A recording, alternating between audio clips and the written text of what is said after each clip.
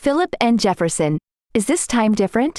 Recent monetary policy cycles in retrospect. Speech by Mr. Philip N. Jefferson, Vice Chair of the Board of Governors of the Federal Reserve System at the Peterson Institute for International Economics, Washington, D.C., the 22nd of February 2023. Thank you, Adam, and thank you to Peterson for the opportunity to speak to you today. Before I begin, let me remind you that the views I will express today are my own and are not necessarily those of my colleagues in the Federal Reserve System. I will take this opportunity to share with you my outlook on the U.S. economy and some upside and downside risks to which I am paying special attention. Also, I will review past monetary policy cycles and discuss what lessons we may learn from them. With that, let me turn to my outlook for the U.S. economy. Aggregate economic activity, Growth in real gross domestic product in 2023 came in much higher than expected by most professional forecasters, buoyed by strength in consumer spending. Toward the end of 2023, however, household balance sheets began to weaken, as indicated by higher delinquency rates and a further decline in savings. These developments lead me to expect slower growth in spending and output in 2024. Even so, without a clear understanding of why consumer spending has been so resilient, I see continuing strength in spending as an important upside risk to my forecast. One possible explanation is that consumers do not want to give up previous levels of consumption, perhaps because of habit formation as described by Robert Pollak, 1970, and an optimistic view of future income prospects. Another possibility is the one raised in pioneering work by James Duesenberry, 1949, 75 years ago and later developed in the context of modern macroeconomics by Jordi Galí, 1994. Socially motivated consumption or keeping up with the Joneses could cause individuals to consume more than what is predicted by models that only consider household wealth and income. The labor market. The imbalance between labor demand and labor supply has narrowed, as labor demand has cooled while labor supply has improved. There is evidence of cooling labor demand, such as the decline in job openings by 3 million from their peak in March 2022. Nevertheless, the labor market remains tight and job openings remain about 20% above their pre-pandemic level, as shown in Figure 1.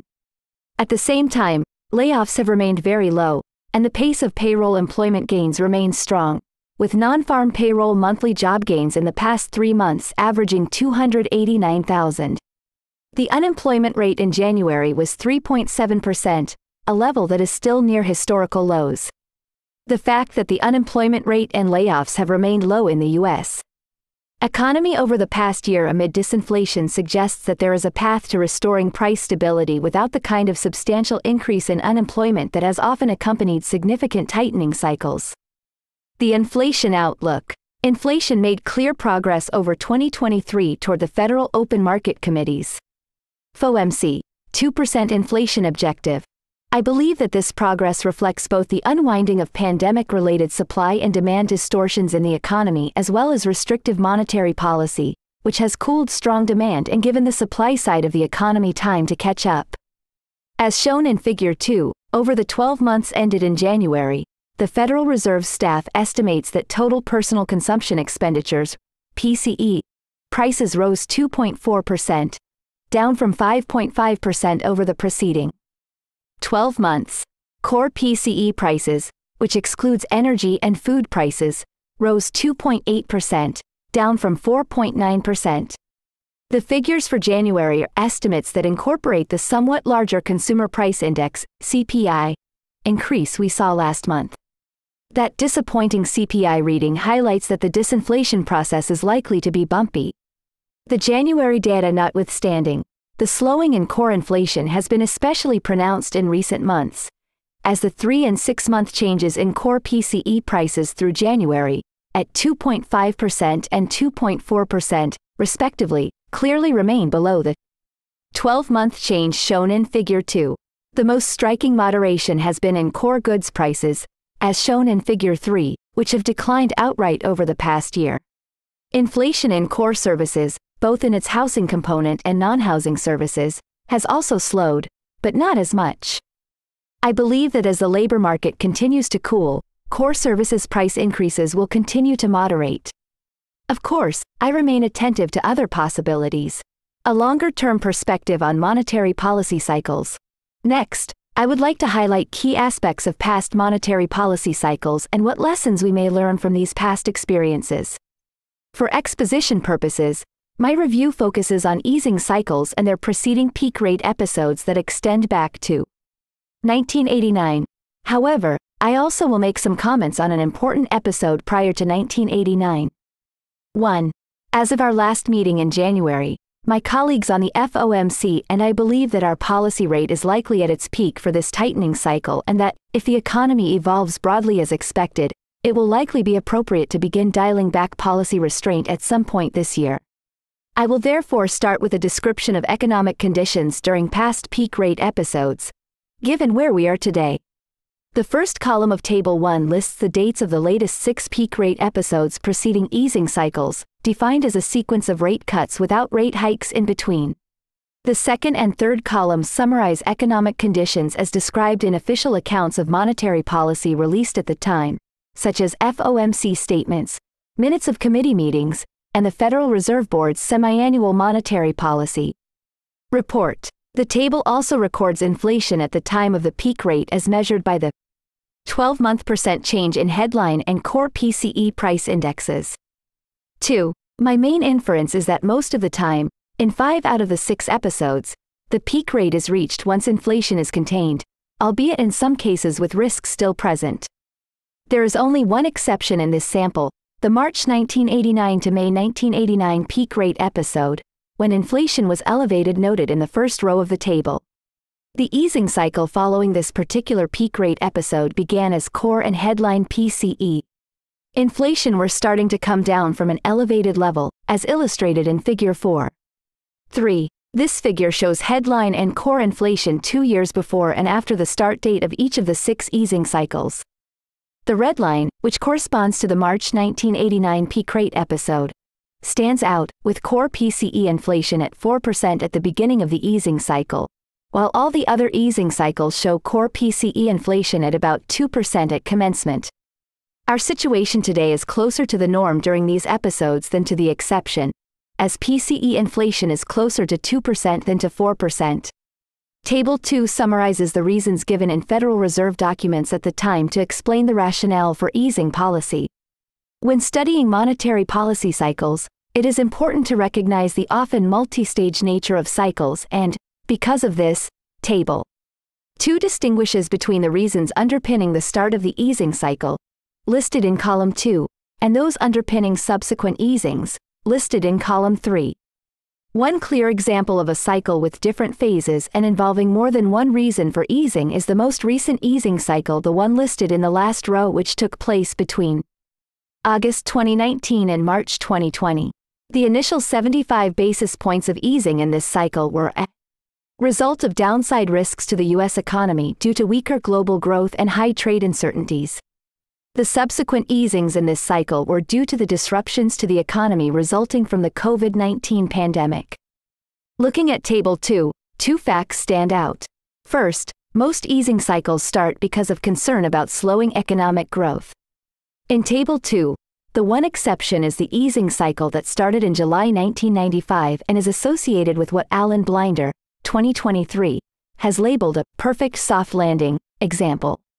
4. That particular easing cycle started predominantly because of reduced inflation concerns.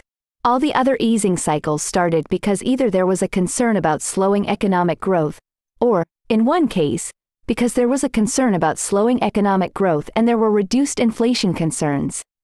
The second fact that stands out is that history is replete with events that complicate monetary policy decisions. The third column in Table 2, which notes the reasons for subsequent easings, demonstrates this point. It shows that four out of the six easing cycles had multiple easing phases, with later phases triggered by events like the 1991 Gulf War, the 9 11 terrorist attack, the global financial crisis, and the pandemic. These events required policymakers to take a different course of policy easing from the course they may have anticipated earlier in the cycle.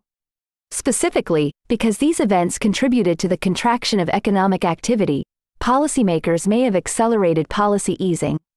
The main messages that I see emerging from this review of the record are that policymakers need to remain vigilant and nimble, in case of adverse shocks hitting the economy, and that policymakers need some good luck. The lesson that policymakers need to remain vigilant and nimble is further illustrated in Figure 5, which shows the unemployment rate around the start of each easing cycle. As can be seen from this chart, in some easing cycles, for example, the easing cycles that began in January 2001, shown in blue, and September 2007, shown in green, the unemployment rate ramps up quickly, shortly after the easing cycle began. In both these cases, the economy weakened rapidly. In the easing cycle that began in January 2001, moderating growth over the second half of 2000 gave way abruptly to sluggish growth around the end of the year. Economic weakness spread and intensified over the first half of 2001 and as shown by the blue line a year after the easing cycle began, the unemployment rate had increased just short of 2 percentage points. In the easing cycle that began in September 2007, the macroeconomic data were not showing much weakening at the time of the cycle's first couple of rate cuts, although financial markets were exhibiting heightened and broad-based volatility and short-term funding markets were significantly impaired. It was only in December 2007 that incoming data started to show more significant spillovers of the housing downturn to other parts of the economy, while several financial firms also began to report larger than expected losses. As the green line in the chart shows, the unemployment rate was around 4.5% at the start of the 2007-2008 easing cycle having remained broadly stable around that level in 2006 but then rapidly rose to 6% within a year of the first easing. My motivation for discussing these two episodes is to highlight how quickly economic activity can weaken. Another reason why policymakers need to watch all available information and be nimble in their decision making is that developments concerning inflation can likewise change rapidly. This was highlighted recently by Russia's invasion of Ukraine in March 2022. The invasion compounded the effects of post pandemic supply constraints on inflation. In addition, we always need to keep in mind the danger of easing too much in response to improvements in the inflation picture. Excessive easing can lead to a stalling or reversal in progress in restoring price stability. Former Fed Chair Paul Volcker stressed this danger in a 1981 speech, when he pointed to 1967 as a year when monetary policy eased in response to concerns about slowing economic growth and reduced inflation concerns, yet inflation subsequently turned back up. Finally, Another observation from reviewing past episodes is that careful easing in the July 1995 easing cycle allowed the FOMC to assess incoming data and other information to make sure that inflation was under control. As I noted earlier, the July 1995 easing cycle is associated with the so-called perfect soft landing. In this particular easing cycle, the FOMC started to ease as it observed a lessening in inflation concerns, left rates unchanged for three meetings as it waited for more information, and then continued to ease. Lessons for current monetary policy. With the knowledge of past experiences in hand, let me say a few words about the current monetary policy cycle and the extent to which future policy is likely to resemble, if at all, past experiences. Between March 2022 and July 2023, the FOMC raised the target range for the federal funds rate 5 and 1 quarter percentage points. Our strong actions have moved our policy rate well into restrictive territory, and our restrictive stance of monetary policy is putting downward pressure on economic activity and inflation. If the economy evolves broadly as expected, it will likely be appropriate to begin dialing back our policy restraint later this year. Getting back to the title of my talk today, will this time be different? My answer is, of course it will. Every time is different, but we can still learn from past episodes. We cannot know if there will be unanticipated exogenous shocks that require a policy response different from what will be envisaged at the beginning of the easing cycle. All we can do is assess the risks as best we can, given the available information and our best forecasts. In the absence of unanticipated exogenous shocks, policymakers can weigh multiple factors, including keeping policy restrictive enough to tamp down a possible resurgence of inflation due to the strength of aggregate demand or easing sooner to avoid an undue increase in unemployment.